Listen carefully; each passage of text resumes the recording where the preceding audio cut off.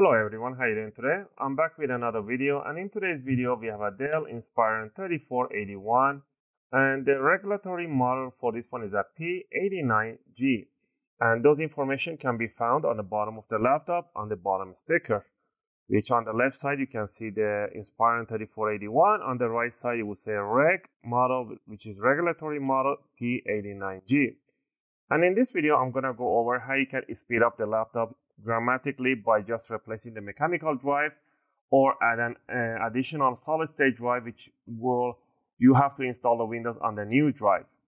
And i'm going to go over a variety of the combination that you can have which and which one is the best combination that you should have. All right first thing first we're going to open it up or before we do that i'll recommend you guys to back up your files to an external drive or to storage uh, cloud somewhere because once you replace the hard drive, you will not have any operating system on the computer. I made a really short video how to create your Windows 10 USB boot drive. I'll leave that link in the video description. If you guys want to create your Windows 10 USB boot drive, it's free and you can do it. And I made another video how to install Windows 10 properly on your laptop. So you don't have those bloatwares and uh, easy installation. You can follow any of my Windows 10 installation videos. And at the end of this video, I'm going to show you guys how to boot this USB drive if you want to know. All right, let's get into it and let's open it up. First thing first, you want to grab a screwdriver set. You're going to be using an iFixit screwdriver as they have one of the best bits out there. These are S2 class steel bit. That means they will last you many years. You're going to be using a Phillips number one. And at the bottom of here, there's a, all these screws are the same size and height. But three of these screws will not come out. They have a little C-lock on the other side of the screw that will prevent it from coming out. They have a little purpose, and I'm going to explain the purpose for those screws. We're not going to touch the screws, this one, this one, and this one. Where there's RJ45 jack here, internet jack. So we're not going to touch these three screws for now. We're going to remove all the rest of the screws, and we're going to keep them in one pile. Go ahead and remove them. Also, if you guys like my videos, if my videos are helping you guys out and you can support the channel by clicking the like and subscribe, I'll greatly appreciate it. It helps and motivates me to make more videos, take requests, and answer your questions in the comment area. Alright, now that we remove all the screws except these three, and I'm going to show you guys the reason for these screws. As you can see, the laptop, the palm rest, it is really closed down here. So as soon as we open the screws in here is going to push the palm rest away from itself. So it's going to make it easy for you to open the laptop. You guys can see that little gap opening right there. So I'm going to remove this other one. There we go. So that's the reason for the C-lock on the there. Once we do a few turns on them, that should be enough. Now, easily we can just grab ourselves a guitar pick, a metallic guitar pick, and we're gonna stick it between the palm rest and the bottom cover, just like this. And we're just gonna continue lifting up the case. You wanna hear big click sounds, that's what you wanna hear. Those click sounds, that, those are the clips that are getting loose. You wanna do this all around. Go to the back side corner, right there. And then you wanna close down the laptop and bring up, grab it from the front side up, wiggle it around, and it will release itself. All right, down here we're gonna see the hard drive right here, and there's a SSD M.2 drive, which they will actually, this is a nice thing that they include you with a screw right on it. So there's the screw for it. Now, the combination that I would recommend you guys to grab yourself an NVMe hard drive or M.2 is compatible with M.2 because these are iCore 7 7th gen. If yours is not 7th gen, it's not going to be NVMe compatible. But if it's a 7th gen, it is NVMe compatible. The NVMe compatibles, they have one notch on them. The M.2 SATA, they have two notch on them. To place the NVMe on, the, on this socket, you want to bring it down in 10 degree and you want to slide it all the way inside the jack, push it towards the jack until it does a tiny click. Then you want to bring it down towards the screw hole and then put the screw right in it. And make sure that you put it in and you pull it out in 10 degree or 10, 15 degree. And you want to slide it out, put it in, slide it all the way towards the jack and then towards the motherboard. So I recommend you guys to put a one terabyte, two terabyte NVMe drive or M.2 drive in here and put your Windows installation on here, which will be much, much faster. And in here on this side, you can format this one to keep it as a, your secondary storage. Put a two terabyte mechanical drive, which is really suitable. It has to be a low profile mechanical drive, not a thick profile. To remove the hard drive, I removed four screws on the caddy. The caddy is a little bracket that holds the hard drive in place.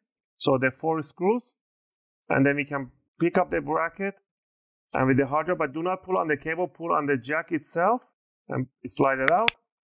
So there's one you Western Digital one terabyte.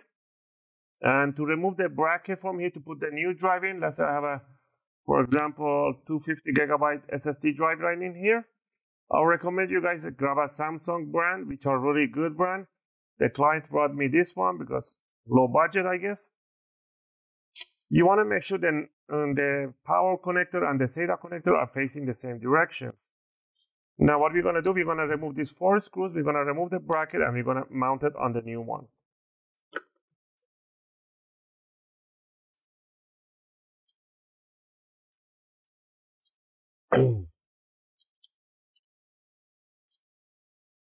Again, you don't need to remove the battery for this at all. For this servicing, you do not need to remove or disconnect the battery. It's absolutely not necessary.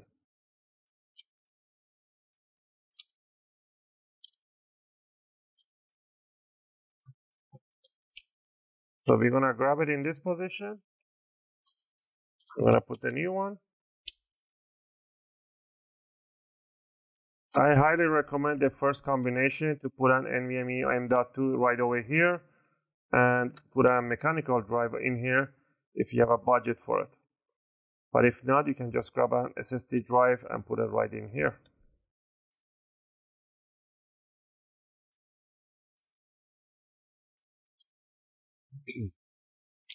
All right, once you have the SSD installed, just grab the adapter, plug it in, set it down, make sure the screw holes are matching, and put the four screws on the caddy.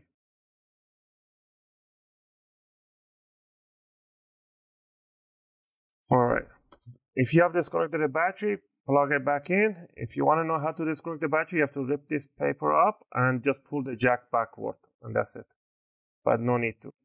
So what we're gonna do, we're gonna put the bottom cover on, squeeze down every corner except the, this triangle right there.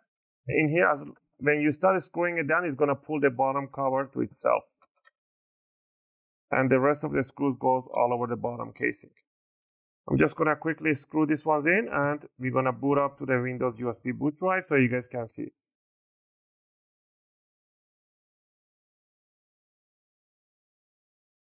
Alright, I don't know if there's any battery in this one, but let me see. I'm gonna plug in the USB. As soon as you plug in the USB, when you power on, you wanna press F, tap on F12. So I'm gonna power on. I'm gonna tap on F12 and it should take me to boot menu. So I get the Dell logo. I'm going to keep tapping. Preparing one-time boot, it says right there on the top. Once we're in here, it says choose your boot. I'm going to choose my Kingston U UEFI USB. And that's it. The screen might flicker, go a little bit of shapes in this and that.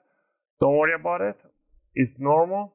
Just wait, give it a few seconds, and it's going to start booting up. There's nothing wrong with it. There's, it's kind of a little glitch.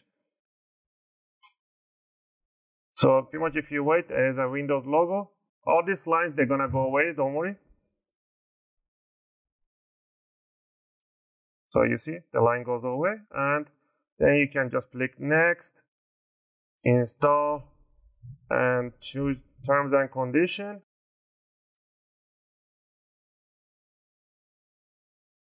So I accept the terms. Next, you want to click custom install and you want to choose your drive. You have to make sure delete all the partitions. If there's any delete button, delete them and then click next and it will install it on the new drive. And if you want to follow the exactly the proper way of doing, watch one of any of my Windows installation guide and you'll be set in the Windows as desktop within 5 to 10 minutes. I hope this video helped you guys out. And if you have any question or requests, feel free to leave them in a video comment. I'll try to answer them as soon as I can. As always, thanks for watching, and I'll see you guys in my next video.